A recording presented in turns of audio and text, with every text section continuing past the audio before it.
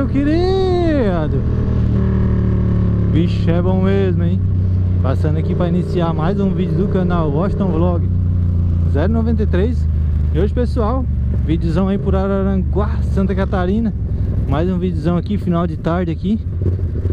Para falar pessoal da 07 Como vocês viram aí na capa aí no título do vídeo Vamos falar da nova MT-07 2023-2024 Que para um total de zero pessoas mais uma vez só trocaram os adesivos trocaram a cor da roda saiu aquele laranja, um vermelho, uma cor bonita ali.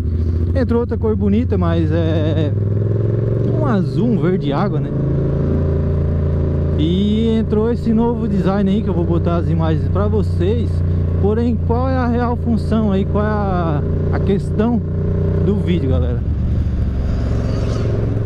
que mais uma vez, mais um ano pelo menos, mais uma temporada, os brasileiros, os consumidores brasileiros vão ficar aí sem o novo modelo da 07, porque para quem não sabe, para quem não sabe, o a 07 europeia é totalmente diferente, o tanque, o design do tanque, rabeta é diferente, o painel TFT, uma tela desse tamanho assim mais ou menos, tá ligado? Frente full LED com aqueles canhão de luz, tá ligado? Que, que tem na, na 09 também, né? Essa minha, pra quem não sabe, é uma 2020, porém é idêntica, isso mesmo, idêntica a 2023-24, que lançou agora essa semana.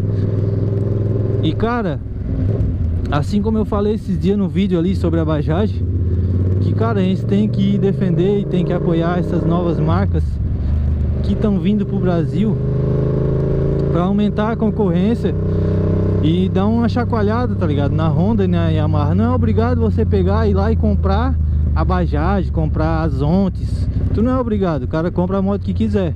Cada um sabe da sua realidade. Porém, vindo essa concorrência, eles trazendo motos mais completas, dá esse choque de realidade. As marcas grandes, os dinossauros, né?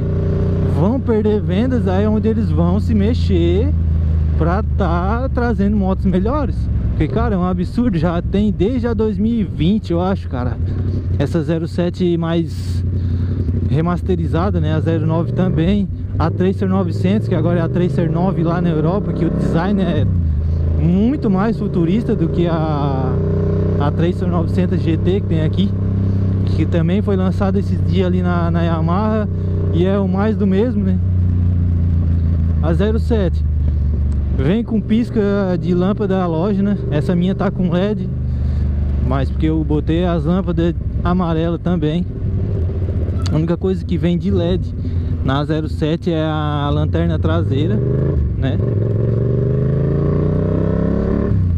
E eles, cara, o preço Eu não, não, não peguei o preço ainda dali da Yamaha da, de Criciúma Mas, cara, é ali um... Deve estar tá uns 52 mil, mais ou menos Aí meio que não dá uma brochada. 52 mil numa moto, né? Que ela não tem a embreagem deslizante Não tem controle de tração As luzes são halógenas ainda, né? Amarelas. E mesmo sabendo que na Europa aí tem Tem a versão mais completa Então, sei lá, cara As, as marcas às vezes acho que ela acha que Que o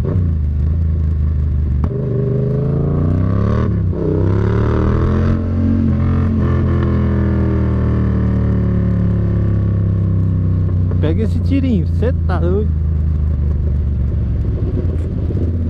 Sei lá, às vezes ela samba na cara do, do consumidor. E até eu, eu, comentei no outro vídeo que a Argentina ali, que tá em crise econômica Trouxe a CB300 Twister indiana, que ela tem conectividade Tem bengala invertida Muito mais completa. E aqui o Brasil eles cobram como se fosse o modelo mais completo pela mais seca então, mais uma vez aí, trazendo as informações e pra gente ficar ligado, né? Ficar atento, a gente honrar mais o nosso nome de consumidor. Porque a gente paga caro por um produto que não tem tudo que a gente merece. Ou tudo que o preço condiz, no caso. Então essa é a 07 2023-24 praticada aqui no Brasil. Beleza, pessoal? Rolezinho aqui por Araranguá. Hoje é feriado, meio feriado. E até o trânsito tá mais de buenas.